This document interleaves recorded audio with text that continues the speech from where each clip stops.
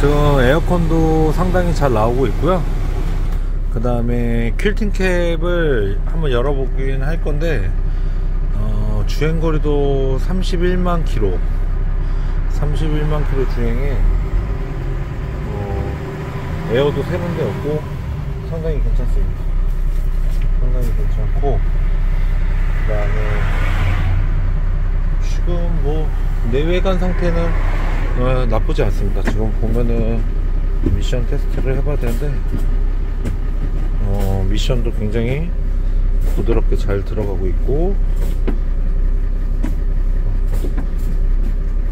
어,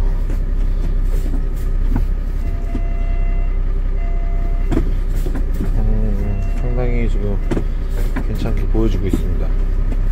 오, 만족하고 이제 근데 내외관 타이어가 아예 너무 안 남아 있어서 어, 안 남아 있어서 트레이드가 타이어는 아마 네짝다 새 걸로 다 교환을 해야 될 것 같아요. 네짝다 새 걸로 교환 예정이고 지금 부장님께서 더 꼼꼼하게 지금 다른 부분도 협의 봐야 될 점을 좀 봐주시고 계십니다. 네, 지금 하부 프레임 상태는 뭐 12년씩 딱 좀딱 좋은 것 같아요. 뭐야 뭐 크게 이 정도면은 좀 갈아서 저 뭐야 갈아갖고 뭐 꼽힌 것도 크게 없고요. 이 정도면 뭐 저는 12년씩에 양호하다 생각합니다.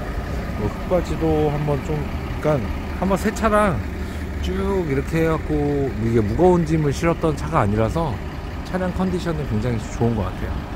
네, 제가 추가적으로 영상 다시 찍겠습니다.